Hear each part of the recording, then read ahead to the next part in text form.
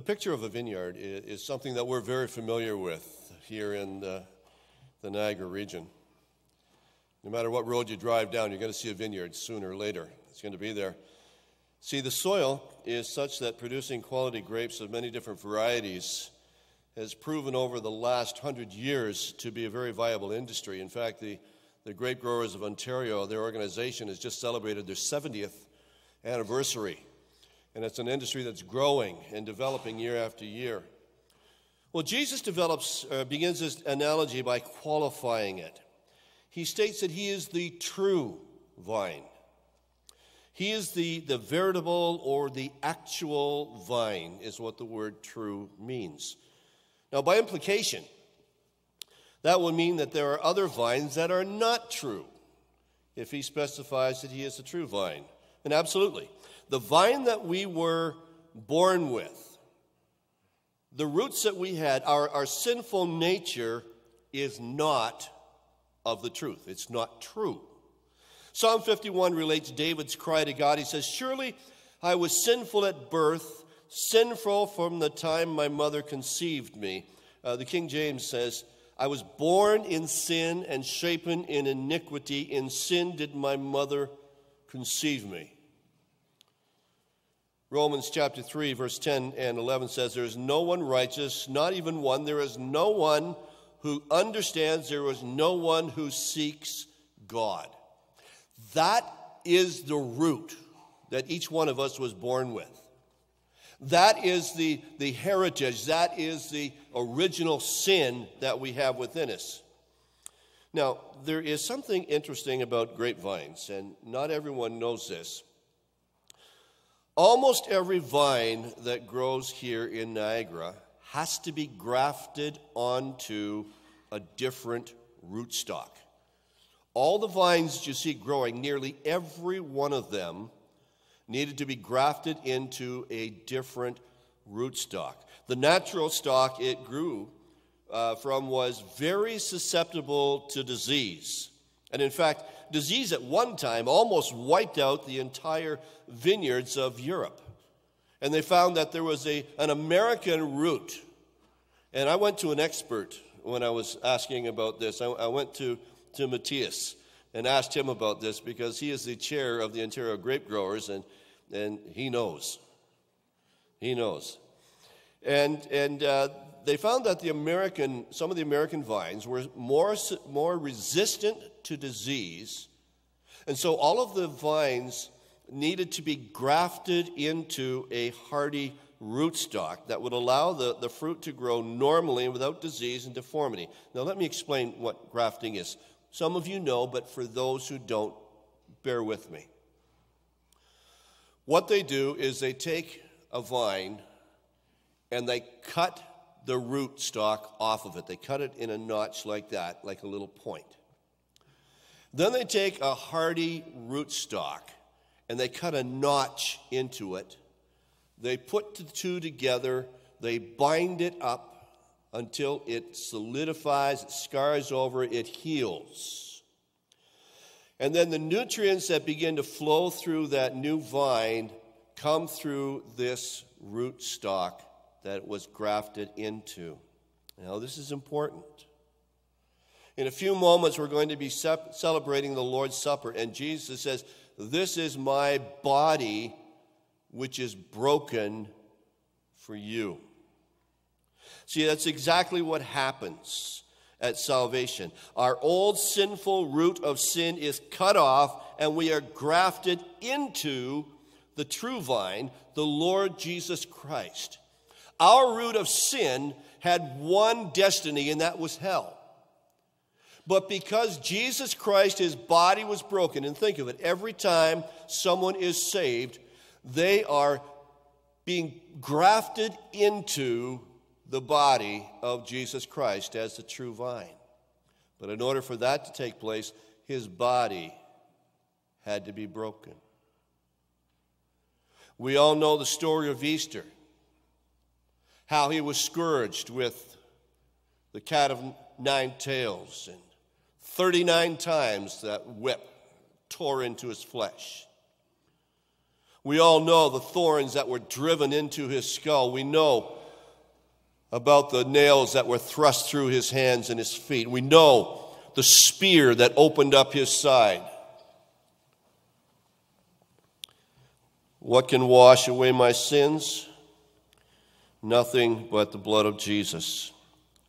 See, our old sinful root of sin is cut off and we are grafted into Jesus Christ. It is then His blood that begins to flow through our veins. And as He said to Nicodemus, you are born again. You're not who you are. You're not who you were. You, you, are, you are now in me. First John says, if we walk in the light as He is in the light, we have fellowship with one another and the blood of Jesus, his son, purifies us from all sin. 2 Corinthians 5 says, Therefore, if anyone is in Christ, he, the new creation has come. The old has gone, the new is here. So he says, I am the true vine. And he says, My father is the gardener, the vine dresser. Continues this analogy by, by specifically attributing the responsibility of dressing the vines to his father. He's the gardener. Now, pruning is absolutely essential if the vine is to produce. The, the grape growing industry is extremely hands on, it's very labor intensive. And the father is shown as the gardener whose task is to prune the vines in order to produce the best the most quality, the fruit possible. See, we are saved to bear fruit. We are saved to be productive for the kingdom of God. In this passage of Scripture, there are four categories of fruit there's no fruit, there's some fruit, there's more fruit, and then there is much fruit that is produced. He says, He cuts off every branch in me that bears no fruit. See, the Father cuts off branch that, that it's, it's just dead wood, realizing that Jesus is talking to those who believe that they're Christians because he says, Every branch in me. Every branch in me. Now, how is it possible that once a person is saved that they bear no fruit? How is it possible that someone would value the Christian experience so lightly that they would give no consideration to why they're part of the family of God? Well, perhaps it would be helpful to define what fruit is. And uh, Bruce Wilkinson, in his book, The Secrets of the, of the Vine, describes it. He defines fruit this way. Number one, it says, fruit usually means good works. Titus chapter 3 says, And let our people also learn to maintain good works to meet urgent needs that they may not be unfruitful. So there's an element of good works that's involved in producing fruit. The second thing, fruit can only be produced by those who are in Christ. It says, see, not all good works can be considered fruit. Isaiah chapter 64 says, All of us have become like one who is unclean and all of our righteous acts are like filthy rags. We all shrivel up like a leaf, and like the wind, our sins sweep us away. See, not all our good works can be considered fruitful, but only those that are in Christ. Third way that Wilkinson def- defines fruit is it's a good work that is done with a God honoring motive. John 15, 16, later on in this chapter, says, You did not choose me, but I chose you and appointed you that you might go and bear fruit, fruit that will last, and so that whatever you ask in my name, the Father will give you. It's, it's, it's a work that honors God. The fourth way he defines fruit is fruit is any action of any believer that pleases God. Colossians says, so that you may live a life worthy of the Lord and please Him in every way, bearing fruit in every good work, growing in the knowledge of God. And the fourth way that he defines fruit, it's the result of your effort and your labor. In Philippians says, if I am to go on living in the body, this will mean fruitful labor for me. Can I let you in on a little secret? You don't get fruit by doing nothing. You don't get fruit by doing nothing. You know what you get by doing nothing? Nothing. The questions get harder, believe me. So, the goal of every Christian is to bear fruit, and not just a little bit, but a lot. Now, remember that there's there, there, here's where the activity of the Christian and the gardener comes in. Because there's four categories of fruit there's no fruit, there's fruit, there's more fruit, and then there's much fruit. See, God our Father is very skillful at how to effectively prune our lives in order to achieve the greatest yield possible of fruit for His glory. Well, he starts in verse 2 by cutting off the unproductive, non productive branches. This is not a good thing for the branch. I've noticed that whenever you cut a branch off a tree, it's not long before that branch starts to wither up and die. I've noticed that it's not good for the branch to be cut off. Who are these branches? Who is it that caused the Father to sever them?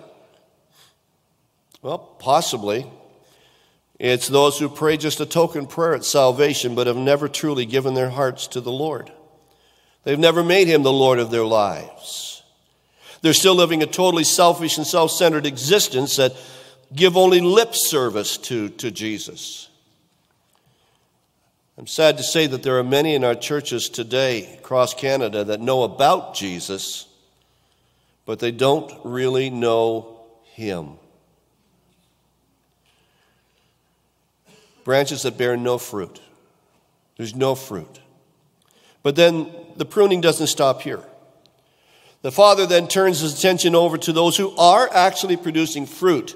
Their lives are growing, and he begins to cut away things that are not helpful and actually only take the necessary nutrients away from the branches that are producing. An old farmer once told Bruce Wilkinson, he says, You can have grapes or you can have leaves, but you can't have both. And so, what happens is the father begins to prune away those things. They're not necessarily wrong, but they're not helpful.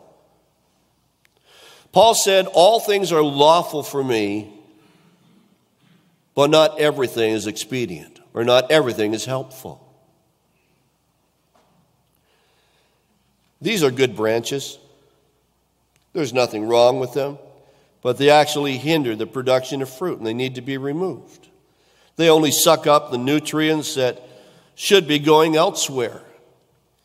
You see, I like to grow tomatoes, and I grow a lot of them. But I know that every tomato plant, you need to break off the, the little suckers that grow in. They don't produce fruit, they just take away the nutrients.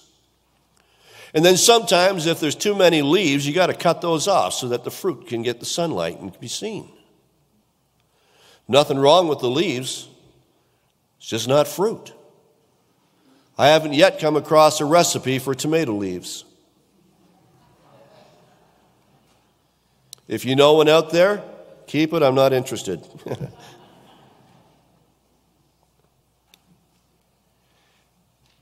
and then something that they also do, and I saw this as I dropped my wife off for work one day. I drove by the vines, and there was a whole bunch of clusters just lying on the ground. See, the wise gardener will go through and they'll start to clip off some of the less productive clusters of grapes so that all the nutrients can go to the, the fat, full ones to produce the best quality that is there. Let me ask you a question. How many of you believe that God only has your best interests at heart? Do you believe that? Do you believe that everything He takes out of your life is because He loves you and He wants the best for you? Do you believe that everything He allows in your life is for your good because he loves you and wants the best for you?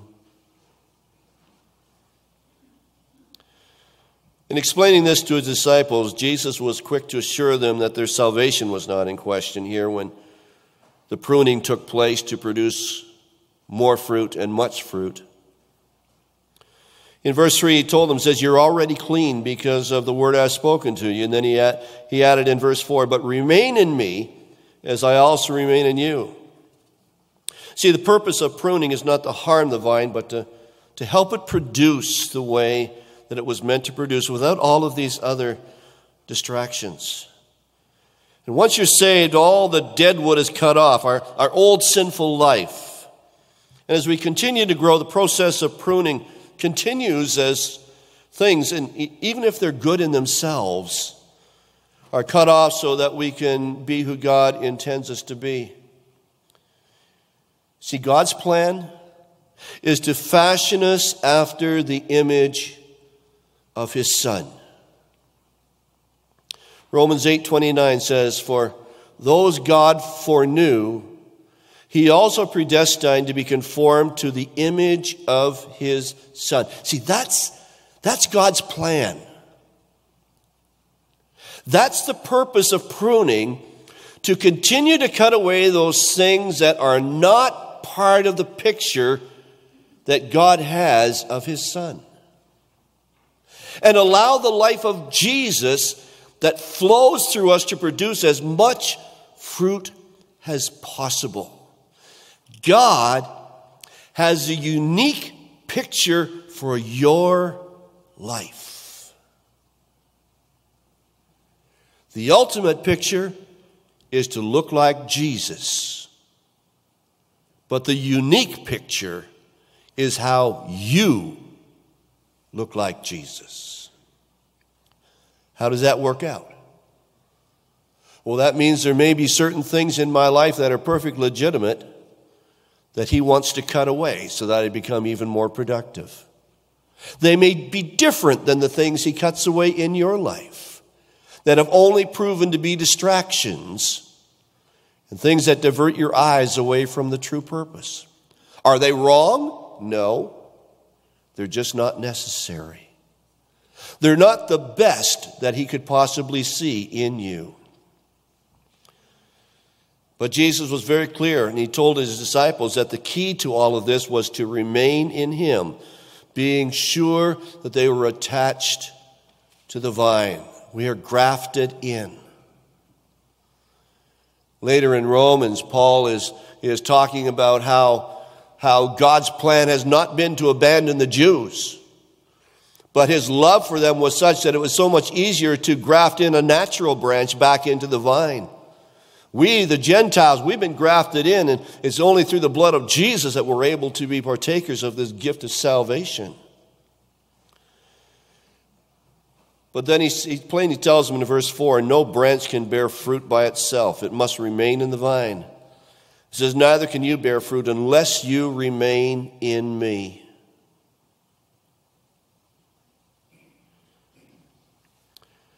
See, there's no way that we can do anything of value for the kingdom of God unless we do it through the power of Christ that dwells in us. Therefore, we need to remain in Him. Jude, the 21st verse says, Keep yourselves in the love of God and wait for the mercy of our Lord Jesus Christ to bring you to eternal life. Keep yourself in God's love. Grapes uh, need full sun in order to ripen properly. And they ripen at uh, different times and different schedules. I love driving through the fields and, and seeing the clusters just hanging off the bottom of the vines. That, that's an amazing thing to see. And all the different varieties, the different colors, the different sizes. That's, that's what we're to produce. Different ways, different times. It's all for His glory. See, any branch that, that begins to obscure the sun needs to be cut away, and, and any branch that begins to obscure Jesus in our life needs to be pruned away so that we can mature and fully reflect Jesus and thereby bear much fruit. Colleen Evans, in her book, The Vine Life, tells us that's why we need the vine dresser. See, the branches cannot weed themselves. The Father uses the Holy Spirit to prove the world wrong about sin, about righteousness, and about judgment. And we need to allow Him to do His work. Too often we get caught up in the I need to try harder syndrome, as if everything depends on us. Where all the while we need to trust in Him and allow Him to do what only He can do. Philippians 1 6 says, being confident of this, that he who began a good work in you will carry it on to completion until the day of Christ Jesus. See, that's why we need to be attached to the vine. She says, Why does God have to prune us? Because we could never do it on our own. And then she gives a little illustration, just like says, just like the family dog who would never give itself a bath and douse itself with the flea killing soap. Neither would we prune away the dead or destructive areas of our lives by ourselves, even though the outcome is for our good. I got a question for you. How many find it hard to throw things away?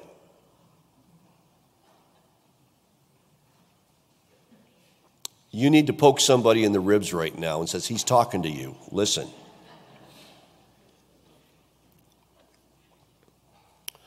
A friend of mine years ago says the amount of stuff we accumulate is comparable only to the amount of space we have to accumulate the stuff. You know, one of the greatest industries that's growing up is self storage, where you take useless stuff from your house and store it in a storage place so you don't have to get rid of your useless stuff. How many in the spring like going to garbage, I mean, garage sales?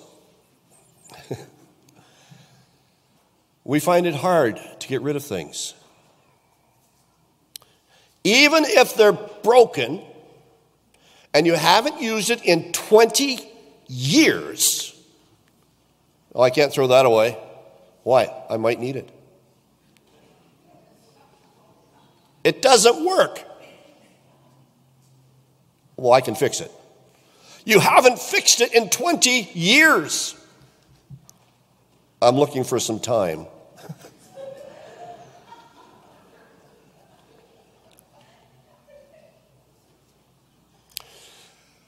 One of my favorite places to visit is the dump and I load up my car, or a friend will load up his trailer, and we will take stuff there, and sometimes for $5, I get rid of a whole load of useless junk.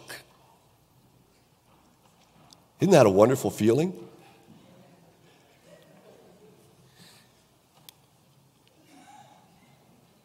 But we hold on to things that are taking up much needed storage space that we could use for other things. So, what are some of the branches that need to be cut away? See, there was a point to that question. In every one of our lives, there's areas of dead wood that needs to be cut off. There's areas of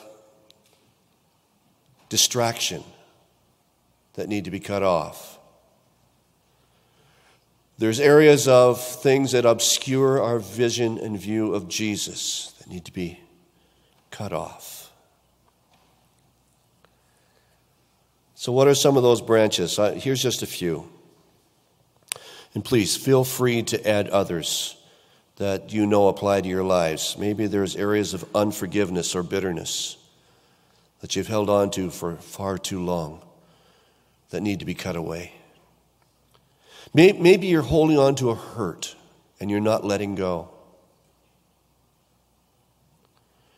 Maybe it's a, a secret sin that you've tried to bury, uh, lust or, or greed, that you've just tried to, to hide it.